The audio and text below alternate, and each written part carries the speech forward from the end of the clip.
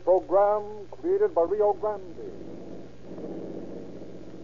San Joaquin County Sheriff's Office calling all cars. Attention all cars to broadcast 279 regarding a murder. Be on the lookout for a woman described as 5 feet, weight 102 pounds. Has black hair, brown eyes, maybe ours. That's all. Rosenquist.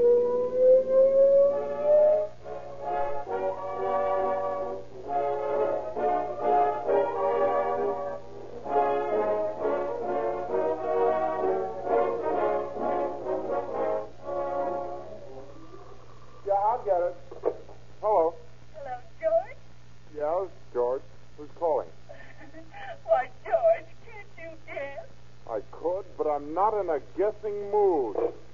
That's the way thousands of motorists feel about gasoline. Why guess about a thing so important when you can know? Why experiment, trying to find out if the extravagant and prejudiced claims made for this or that motor fuel are on the up and up when the disinterested testimony of the men who drive the most and know the most about gasoline tells you that Rio Grande Cracked has all the qualities they demand for emergency driving under all conditions. Rely on the word of the men who drive your police cars, ambulances, fire engines, and other must get their automobiles. They say that no gasoline equals Rio Grande Cracked when it comes to quick getaway, immediate acceleration, maximum power and speed and mileage. It's a fact, not guesswork, that more emergency cars are powered by this better gasoline wherever it is sold than any other brand. Quit guessing, friends. No. Get the most your automobile has to give you by tanking up with Rio Grande Cracked, the most highly recommended gasoline sold in the West.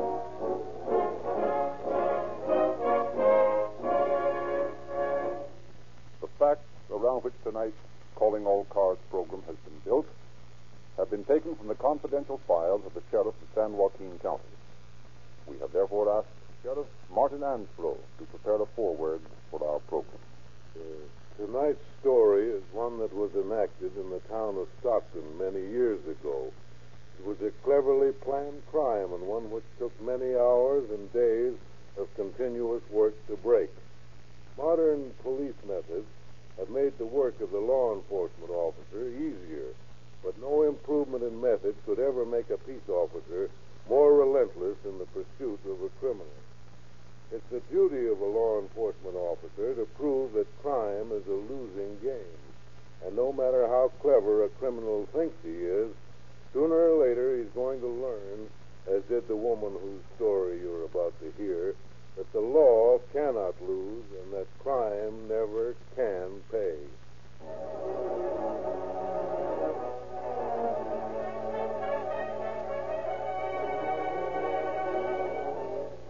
On the early evening of Saturday, March 24, 1906, two baggage men employed for the Southern Pacific Railway of Stockton, California, were preparing to weigh the incoming mail.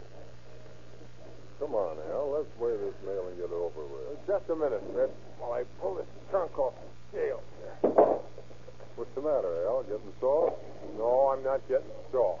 If you bothered to look, you could have seen for yourself this blame thing weighs 225 pounds. Yeah? Sure. Whoever belongs to this trunk must have filled it with anvils. Oh, well, people put funny things in trunks sometimes. Come on, let's get at this mail. Hold on a second, Fred. Something funny inside this thing. Listen while I rock it. Hmm. Sounds like something's loose in there. Something pretty big and heavy, too. Yeah. You don't suppose somebody's shipping a trunkload of meat somewhere, do you? I don't know. People do crazy things. Anyway, I guess the weather's cold enough to preserve meat for a few days if somebody wanted to ship it. Why, golly, Fred, this thing's got my curiosity up. Uh-oh. There's something dead in that trunk just as sure as you're born. Suppose it could be a human body. Oh, gosh, Fred, for the love of Mikey, give me the chills. Just the same, I wouldn't be a bit surprised if that's what it is. Well, well, what do you think we better do? Call the cops, of course. Here, let me at that telephone. Say, operator, get me the police station, will you? Yeah. Hello? Listen, I'm calling from the baggage room down at the Southern Pacific Depot. Say, we got a trunk here that we think has a dead body in it.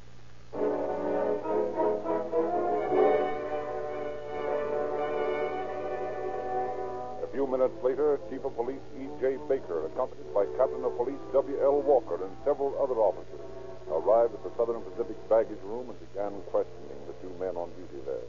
This is the trunk you phoned us about, is it? Yes, sir. Let's see. Where's it supposed to be shipped? Well, I'm not exactly sure. It was put on a baggage coach bound for Sacramento this afternoon, along with a suitcase. But they were taken off, and the boys on the train couldn't find any checks on them. Hmm, no checks, eh? No, sir. Say, there is a sort of funny odor in here, Chief. Yes, I noticed it, Walker. Well, just standing here isn't going to tell us anything. A couple of you boys get the ropes off that trunk and see if you can't find something to break the lock with. Yes, sir. Uh, there's a hammer and tool chisel laying around here somewhere. I think that, yeah. Yeah, here they are. No, that's fine, thanks. Say, Chief, that's a brand new trunk. The rope looks new, too. Yes, I know. That isn't a cheap trunk either. It's a funny thing. There isn't some mark of identification on it. There it is. I didn't think a person would want to take a chance of losing a good trunk like that. Well, there she is, Chief. Lock's broken. All right, boys. Raise up the lid and let's have a look inside. I knew it. Well, looks like your suspicions were right, fellas. Yeah. Take a look at the body. Have either of you ever seen that man before? No, not me. Me neither. Hey, this fella hasn't been dead very long, Chief. How do you know, Walker? Let's see here. Inside of the trunk, stained with fresh blood. It's still damp. George, that's right. Yeah, I wouldn't be surprised if he was still alive when he was shoved into it. Well, there's a lot of things that'll have to be found out about this. In the meantime, one thing is sure this is a case of deliberate, cold blooded murder.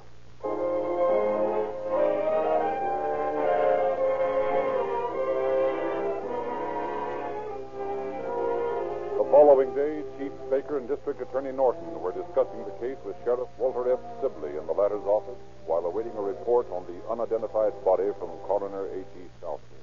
And you say this man was neatly dressed, Baker? Yes, his coat and shoes were missing, Sheriff, but there was nothing to indicate that he'd struggled with anyone. His clothes were in perfect order, even to the crease in his trousers. I see. Uh, tell me, just how was he lying in the trunk?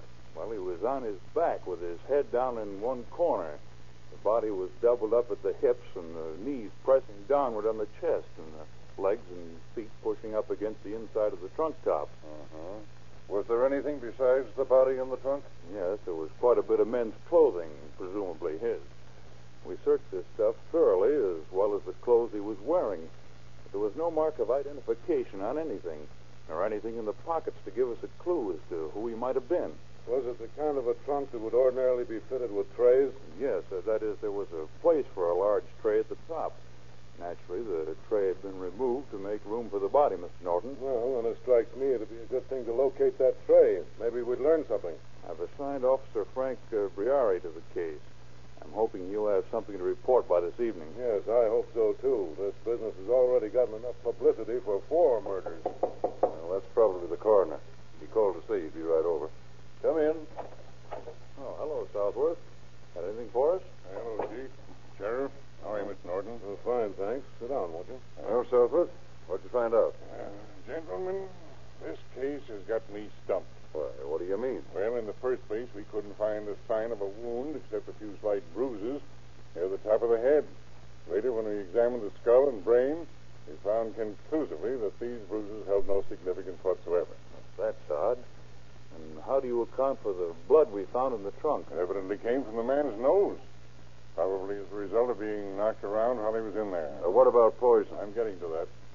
Minute examination of the vital organs is made, and no stain or odor of any poison is found. Did you test for potassium cyanide? That sometimes is rather hard to detect. Yes, but the results were negative. As a matter of fact, every organ in the man's body was found to be in a normal, healthy condition. Frankly, we're completely mystified as to the cause of death. It couldn't have been suffocation. Oh, no, no. We'd have known that at once, Mr. Norton. You're sure that your analysis is correct, Coroner? Positive. However, to make doubly certain, I'm taking the vital organs to San Francisco for an expert chemical analysis. That's a good idea.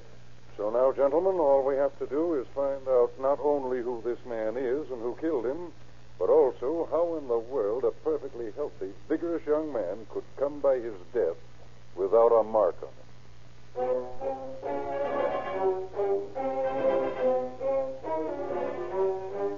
Frank Briari, the officer whom Chief Baker had entrusted with the investigation, quickly learned the identity of the expressman who had driven the trunk to the depot in his wagon. Locating the man, Briari then found out the trunk had been delivered from room 97 in the San Joaquin house. He immediately went there and carefully searched the designated room. Finding little of interest, he questioned the proprietor. So, uh, McVickers was the name of the people who occupied room 97, eh? Yes, sir. Mr. and Mrs. Albert and McVickers. They registered here on Friday evening. Mm, that would be day before yesterday, wouldn't it? And you say they checked out yesterday afternoon? Yes, that is, uh, Mrs. McVickers checked out for the two of them. I didn't see anything of Mr. McVickers. What did you say they registered from? Uh, Jamestown, California. Uh, Jamestown, eh? That's a little mining town east of here, isn't it? I think so. Well, did you see anything of a new trunk among the McVickers' belongings? Why, yes. Uh, Mrs. McVickers had one sent up to the hotel yesterday morning and then had it checked out early in the afternoon. I see. And uh, did these people leave anything behind them? Uh, in their room, I mean? The boy who cleaned up after they vacated uh, found the box up there, but, but I believe that's all. That's the box over there in the corner. Hmm, box. Looks more like a trunk tray to me. Yes, I suppose that's what it is. Well, I'm afraid I'll have to take it along with me. That's all right, officer. I don't imagine they'll come back for it anyway.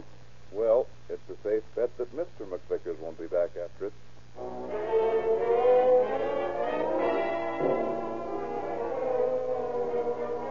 Several hours after Officer Briari reported the results of his investigation to Chief Baker, there was a conference in the office of Sheriff Sibley, at which District Attorney Norton and Under Sheriff Carlton Case were present. Have those baggage men located the suitcase that was taken off the Sacramento train along with the trunk, Baker? Yes, they did, Mr. Norton. It was brought to my office this morning. Yeah? What was in it? I have a notation of its contents right here. Let's see. Oh, there was some woman's wearing apparel and uh, several letters from a man in San Francisco addressed to Mrs. Emma Ledoux. And photographs of both the dead man and Mrs. McVickers, shaving mug bearing the initials A.N. McV, and a bottle of beef iron and wine tonic. You have the photographs with you? Oh, yes. Um, here they are, Miss Norton. Hmm. Mrs. McVicker's a pretty little thing, isn't she? Oh. You have the people at the hotel come down to the morgue to see if they could identify the body? Oh, yes. They positively identified it as that of Mr. McVickers. They also identified Mrs. McVickers by these pictures. But nobody seems to know where she is, huh? No. No, we haven't been able to find a trace of her, Mr. Norton. You know, something happened a little while ago that really has me puzzled. Yeah? What's that? Well, some fellow who comes from Amador County was in the police station and had a look at these photographs. He instantly identified Mrs. McVickers as a Mrs. Ledoux, the same name that's on these letters.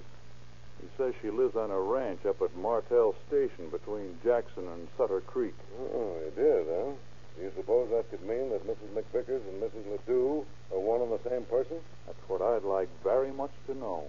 Well, one thing is certain, gentlemen.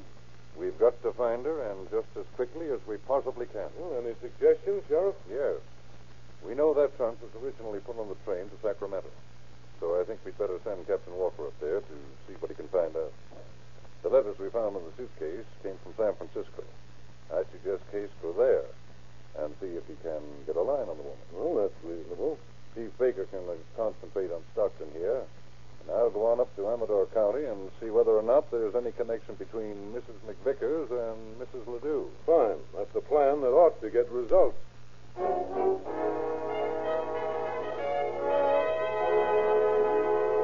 Each of the officers left immediately for his destination as outlined by Sheriff Sibley. Under Sheriff Case, arriving in San Francisco late Sunday evening, had just returned to his hotel after several hours of unsuccessful search when the telephone in his room suddenly jangled. Oh. Oh, now, who in blazes can be calling me at 1 o'clock in the morning? Hello? Hello, Case. This is Sibley. Oh, yes, Sheriff. I'm calling from up in Amador County. I want you to see if you can locate a fellow named Ben Hawley. He's a player in San Francisco. Ben Hawley. Yes. He's a particular friend of Mrs. McVickers. Well, how did you find out? Oh, I found out a lot of things. I hired a horse and buggy here, and I've been driving around the county all day asking questions of everybody I thought might know anything. You haven't located Mrs. McVickers, have you? No, that's why I'm calling you. But I found out that uh, Mrs. McVickers and Mrs. Ledoux are the same woman. Is that right? Yes. Robert Ledoux is a teamster rancher up here. He's only been married to her a few months. Apparently, neither husband knew about the other. Well, I'll be hanged. I learned from Mrs. McVicker's mother that her daughter's been living there at the ranch lately. She told me that Mrs. McVickers had left for San Francisco last Friday. Said she was going to meet this Ben Hawley. It seems that she's been going with this man, so she might be there now. Try and locate him as soon as you can, will you, Case? Yeah, I'll get onto it right away, Sheriff. Fine. Goodbye. And let me know the minute you find out.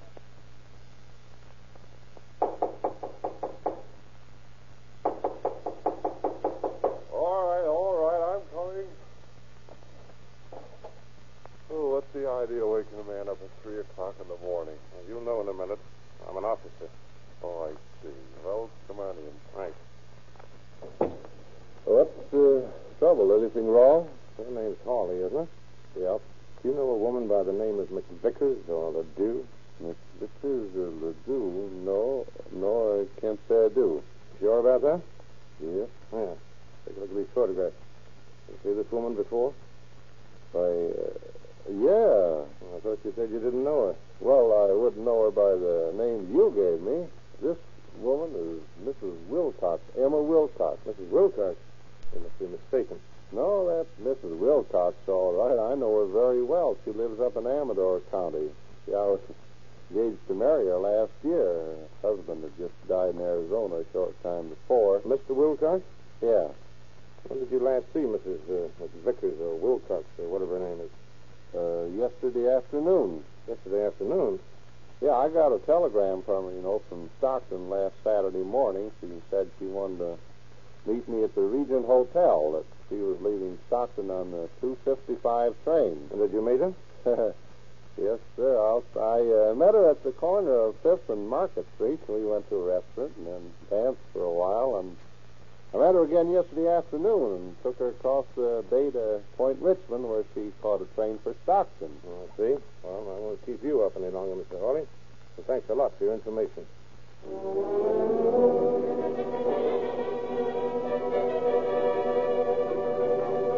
Within an hour, Under Sheriff Case managed to locate the conductor of the train Mrs. McVickers had boarded and learned that she had gotten off at Antioch. Then he immediately put in a long distance call to Sheriff Field of Contra Costa County, in which Antioch is located, describing the woman and suggesting that a check of the hotels be made. A short time later, Sheriff Field called back and informed Case that a woman answering his description had been located and was being held until his arrival.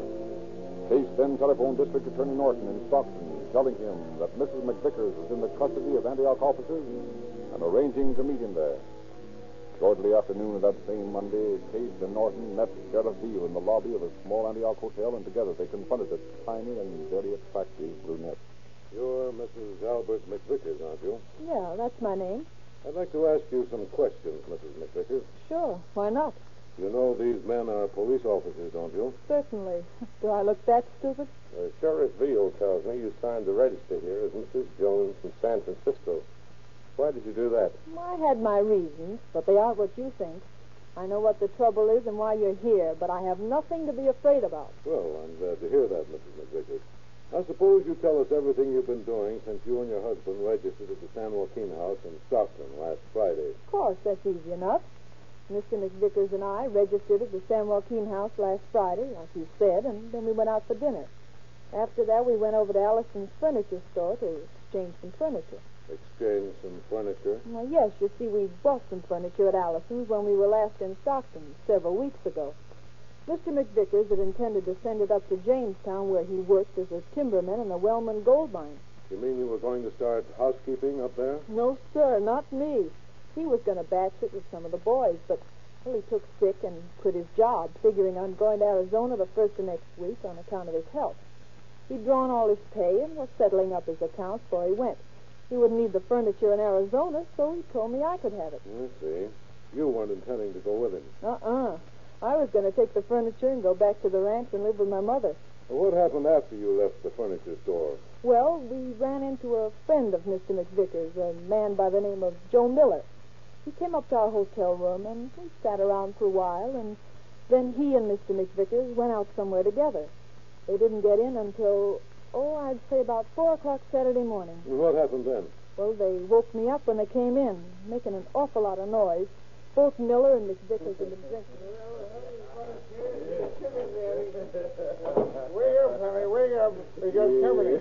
Don't bother her. Why? Now let her sleep. Huh? Have a drink. Okay. Hey, what's the meaning of this, Al McVickers? You want to disgrace us both? Think nothing of it, honey. Think nothing of it. Aye, Shirley's been having fun. That's That right. is, Al's been having fun. Sure. he just won every cent I had in the world. That's true, Al. You give the man his money and come on to bed. Oh, give him back his money. You think I'm crazy? I wanted it, didn't I? No, you didn't win it. I You did. stole it, you cheat. Why, well, who's the chief? Uh, you are. Now, you know Please, please, stop this argument. You'll wake up the hotel. All right, we'll wake up the hotel. sure. Who cares? I'm going to get my money. I'll see that Al gives you back your money in the morning, Mr. Miller. Now, listen, I want you to get out of this room before I get somebody to put you out. Go ahead, Sure. Sure. Go on. I'm going to get my money right now. All right, Hey, all where right. you I warned you. Mr. Miller. I'm going to get the manager. And uh, you did call the manager, Mrs. McVickers? No, no, I started to, but you thought better of it. After a few minutes, I came back to the room. It was all upset, as if there had been quite a tussle. Mr. Miller had gone, but Mr. McVickers was on his knees on the floor, awfully sick. What did you do then? Well, I, I helped him up from the floor, and he sat down on the edge of the bed. He, he kept saying, I can't get my breath. Then I started to get a paper to fan him with, but before I could do anything, he fell over sideways on the bed, like this. I see. Go on. Well, I got a glass of water and tried to give it to him, but he couldn't drink it. It, it all ran down his face. Then I went out into the hall to try and get help and met Mr. Miller coming out of the room. Hey, where do you think you're going? Albert's fainted. I'm going to get help. Oh, no, you're not. Come on back in your room with me. But I got to get help for No, my... you don't have to do anything but keep your mouth shut. Now, come on in here. Yeah, all right. Now, wait a minute while I have a look at him. I'm afraid, Mr. Miller. He's lying awful Now, still. shut up and let me handle this. Oh, oh. Well, look here, Mrs. McVickers. We got to use our heads. Your- husband's dead. Dead. Yeah. Let me out of here. Let me out. I got to tell the manager. Back in here, you fool. Now, I'll just stick that key in my pocket until I'm ready to open the door. If you know what's good for you, you listen to what I have to say. All right. What else can I do? If you ever mention my name in this business, it'll be the last thing you ever do, understand? Yes. Now then, listen.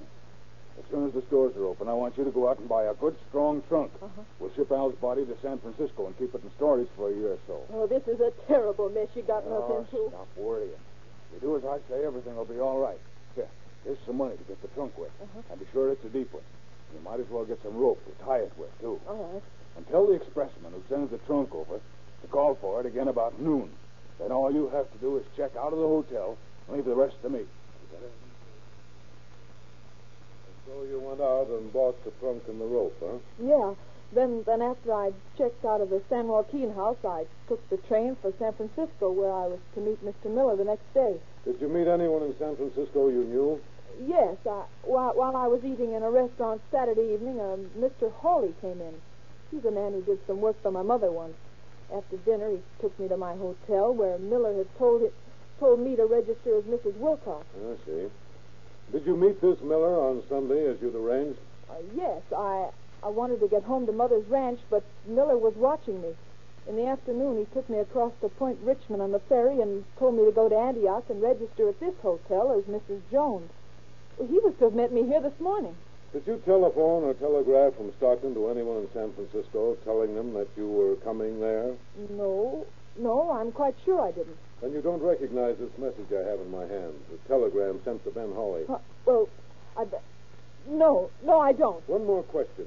Did the bottle of beef iron and wine found in Mr. McVicker's suitcase belong to you? Why, yes, yes, it did. I bought it at the drugstore under the San Joaquin house in Stockton. About how many doses were taken out of the bottle? Two? And did you take them both? Yeah, I did. I'd like to ask you a question, Mrs. McVickers. Just when and where were you and Albert McVickers married? Four years ago at Bisbee, Arizona. Oh, I see. Thank you. And now, Mrs. McVickers, I'm afraid we'll have to take you into custody and return you to Stockton. Murder is a mighty serious business, you know.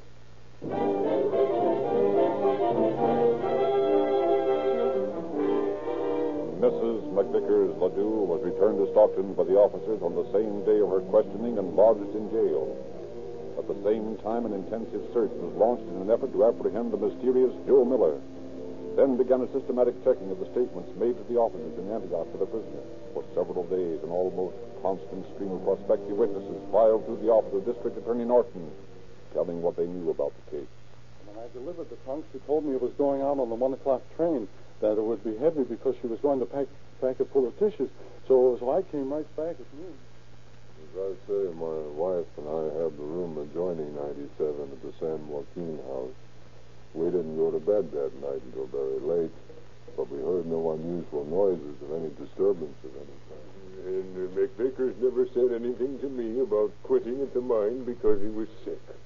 When McVickers asked for his pay, he said he was going to take over the management of the ranch where his wife's mother lives. Said he'd make four dollars a day at the ranch, where he only made three at the Wellman mine. Even as Mrs. McVickers Ledoux's statements had conflicted with those of Ben Hawley, so it was the case in many other instances. Then, several days after her return to Stockton, a Dr. Samuelson called at the office of District Attorney Norton. You wish to see me, Dr. Samuelson?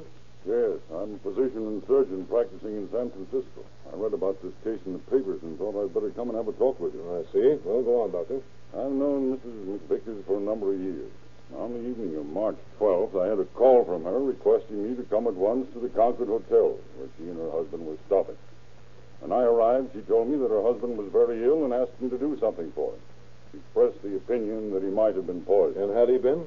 No, I think not. I treated him at the time and asked him if he knew what was the matter. He said that he didn't know, but that his wife had told him it was probably the clams and beer they'd had for supper. Mm-hmm. Well, what then? He seemed to be getting better, so I got ready to leave. But before I went, Mrs. McVickers requested that I give her an order for cyanide of potassium. And did you? Yes. I forget now the excuse he gave me for wanting it, but I remember that I filled out the order. Well, this may turn out to be a very valuable bit of information. Possibly, but I haven't finished yet, Mr. Norton. The following morning, Mrs. McVickers came to my office and asked for some morphine.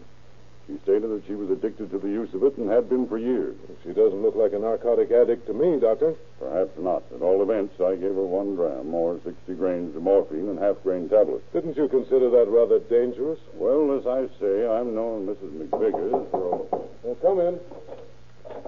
Oh, I, I didn't know you were busy, Mr. Norton. Well, that's all right, Baker. I wanted to talk to you about the McVickers case. Incidentally, there was a telegram came for me a few minutes ago that I thought you might want to see. Oh, pardon me a moment, Doctor. Sure. Copy of the one received by Coroner Southworth. Hmm. Examination submitted to me on March 26th of the stomach, pancreas, and liver of the dead man found in Stockton March 24th discloses a small quantity chloral and large quantity morphine.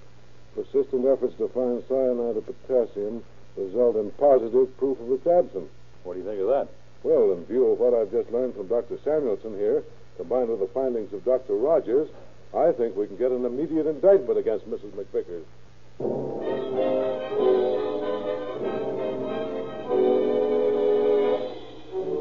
A few moments later, District Attorney Norton and Chief Baker were confronting Mrs. McVickers Ledoux with this new evidence in her cell at the Stockton jail. Now, you might as well tell us about it, Mrs. McVickers. We know you did it, and we know why. I didn't, I tell you. I didn't. It was Miller. Oh, come now. We don't think there is any such person as Miller. You just made him up. Oh, that's not true. Miller killed my husband. No, Miller didn't, and nobody else except you.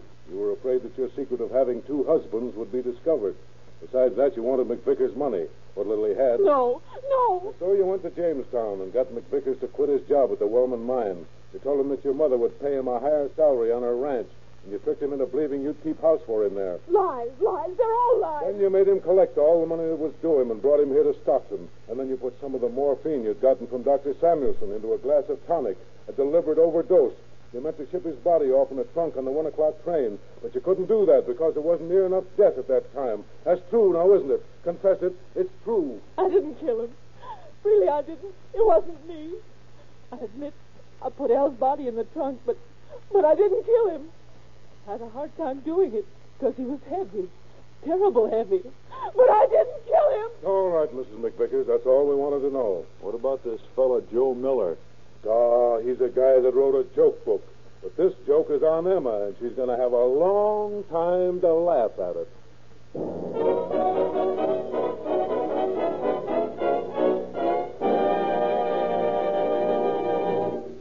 A moment, we will give you the concluding facts regarding our program. Start the work week right, friends. Make the business of driving a pleasure and a car saving, money saving satisfaction by taking with you wherever you go the safe and sure protection of Rio Lube motor oil and Rio Grande cracked. The more power, more miles to the gallon gasoline of police car performance. Emma McVickers was indicted and tried for murder and sentenced to be hanged. But her sentence was commuted to life imprisonment. Through the bitter years of a long life, she is learning that crime does not pay.